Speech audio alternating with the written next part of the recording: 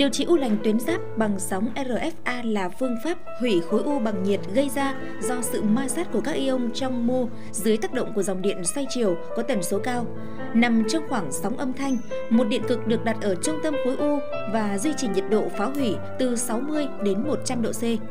Dòng điện từ máy được truyền đến khối u qua một điện cực dạng kim, sóng radio được truyền vào đầu kim và sinh nhiệt. Nhiệt do ma sát làm khô mô xung quanh dẫn đến làm mất nước trong tế bào và hoại tử đông khối u, từ đó làm giảm thể tích bướu giáp. Tại sao nên điều trị u tuyến giáp lành tính? Tuyến giáp là tuyến nằm ở vùng cổ, vắt ngang qua khí quản và có chức năng nội tiết quan trọng đối với cơ thể do nhiều nguyên nhân dẫn đến hình thành khối u tại tuyến giáp. Nếu u lành nên được loại bỏ, tránh gây tràn vào các mô, cơ quan lân cận hoặc tránh gây ra các triệu chứng khó chịu như ho, khó thở, vướng khi nuốt, đau, khối nổi vùng cổ gây mất thẩm mỹ. Trước kia thì cũng tôi cũng không biết là mình có tuyến giáp.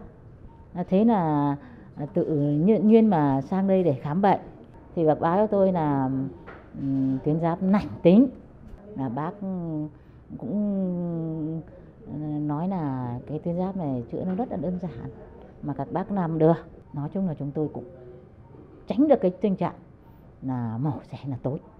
Đấy, nếu bác bảo là làm thì sau này là không phải mổ xẻ mà cũng không phải cần phải uống thuốc để điều trị. Là chúng tôi yên tâm. Ờ, đốt sống cao tần bằng sử dụng ờ, RF3 thì tức là nó là một cái phương pháp điều trị mới nó xuất hiện bắt đầu từ năm 2002 đầu tiên ở bên Hàn Quốc. Và bây giờ thì trên thế giới có rất nhiều nước điều trị như Nhật Bản, Hàn Quốc, ờ, ở châu Âu thì có Anh, có Đan Mạch và Đức người ta cũng áp dụng điều trị bằng phương pháp này. Thì nó là sử dụng sóng nhiệt của cái sóng cao tần đấy dùng nhiệt để điều trị những cái tế bào nhân tuyến giáp này làm cho nhân làm cho tế bào tuyến giáp này nó bị nhân tuyến giáp này nó bị teo đi nó co lại nó teo đi và theo thời gian thì nó sẽ giảm kích thước rất là nhiều đi và thậm chí là đối với nhân một số nhân nó có thể gần như là biến mất và nó tạo được cái vỏ sơ bao bọc quanh những nhân này thì làm cho nhân này nó sẽ không tăng về kích thước và cũng hạn chế được cái biến chứng à, cái tiến triển của nó là chuyển dạng thành ác tính. Ưu điểm của phương pháp điều trị bằng sóng cao tần so với phương pháp mổ tuyến giáp phương pháp mổ tuyến giáp dễ chảy máu, dễ tổn thương vào dây thần kinh, phát âm, để lại sẹo, thời gian điều trị kéo dài, dễ có nhiều biến chứng. Phương pháp điều trị RFA không phải mổ, chỉ cần gây tê tại chỗ, không đau trong và sau thủ thuật, thẩm mỹ không để lại sẹo, không phải nằm viện, hạn chế tối đa biến chứng liệt thanh quản, trở lại sinh hoạt bình thường, tránh được ung thư hóa. Đối với những cái nhân lành tuyến giáp này trước kia thì người ta chỉ có một phương pháp duy nhất là điều trị bằng phẫu thuật. Phẫu thuật thì mình phải gây mê, phải cắt bỏ toàn bộ tuyến giáp. Trong khi đấy thì đối với những cái phương pháp điều trị bằng đốt sóng cao tần này, này thì mình gây tê vùng, tức là trong quá trình làm bệnh nhân hoàn toàn tỉnh táo có thể tiếp xúc được bình thường với bác sĩ. Và khi điều trị mình điều trị dưới hướng dẫn siêu âm nên mình chỉ điều trị đích là những cái nhân tuyến giáp đấy thôi và bảo tồn được cái nhu mô lành của tuyến giáp thì mình sẽ tránh được cái biến chứng suy giáp của bệnh nhân sau điều trị ví dụ như phẫu thuật. Ngoài ra thì tránh được những cái biến chứng trong quá trình phẫu thuật, ví dụ mình phải gây mê thì có thể có biến chứng của gây mê hoặc là gây tổn thương dây thanh không hồi phục thì điều trị bằng cái phương pháp này mình có thể tránh được những cái biến chứng như thế. Bệnh nhân ngay sau quá trình điều trị đốt sống cao tần RFA thì có thể hồi phục luôn hoàn toàn, có thể ăn uống và sinh hoạt hoàn toàn bình thường ngay sau quá trình điều trị mà không cần phải kiêng gì cả.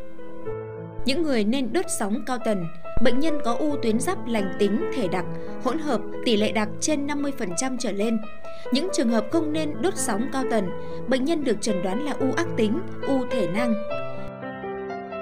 Quy trình thực hiện đốt sóng cao tần như thế nào? Bước 1. Kim được đưa vào trong khối u theo đường xuyên qua da khi bệnh nhân đã được gây mê. Việc đưa kim vào khối u được thực hiện bởi sự hỗ trợ hình ảnh từ hệ thống máy siêu âm. Bước 2. Kim này sẽ phát sóng radio đốt nóng các tế bào ác tính của khối u và các tế bào gan trong vòng 0,5 đến 1 cm kề bên khối u. Bước 3. Nhiệt độ sẽ đạt đến trên 100 độ C và sẽ duy trì trong khoảng 10 phút thì đủ để giết tất cả các tế bào trong phạm vi phá hủy của kim radio.